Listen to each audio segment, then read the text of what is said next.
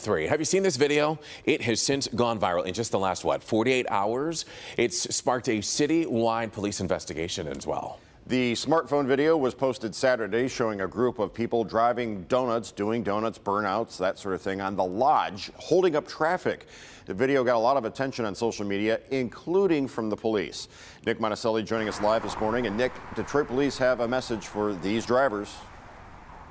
Yeah, it's essentially we're not going to put up with this. And watching the 6 a.m. rush hour commute start to build up a little bit and seeing how fast vehicles go here on the lodge, it's hard to believe somebody would do something like this, not uh, let alone shutting down traffic, blocking it so they could do it. Oh my God. Wow.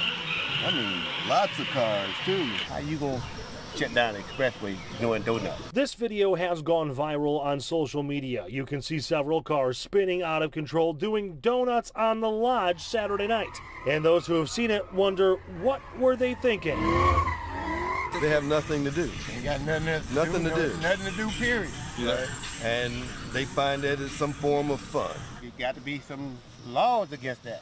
They're not thinking about life, I know that much. I don't know. These kids be on some other kind. This new generation, they on some other kind of stuff because we didn't do that.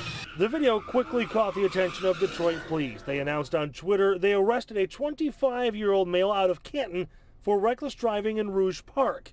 Investigators think the two cases could be connected. You can see signs of someone marking donuts in the street in this picture.